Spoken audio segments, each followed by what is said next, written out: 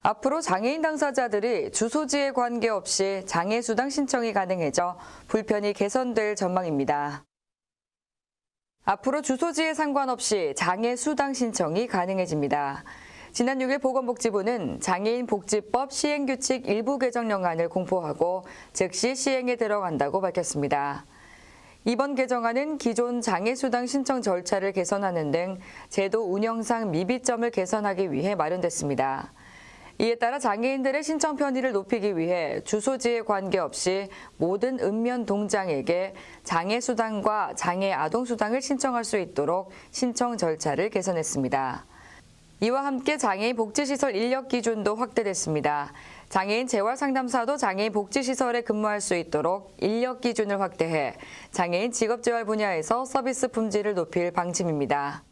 이 밖에도 민원 서식을 개정하는 등 개인정보 보호를 강화하도록 했습니다. 이번 시행 규칙에 대해 복지부는 장애인 당사자들의 서비스 신청 편의가 대폭 개선될 것으로 기대했습니다.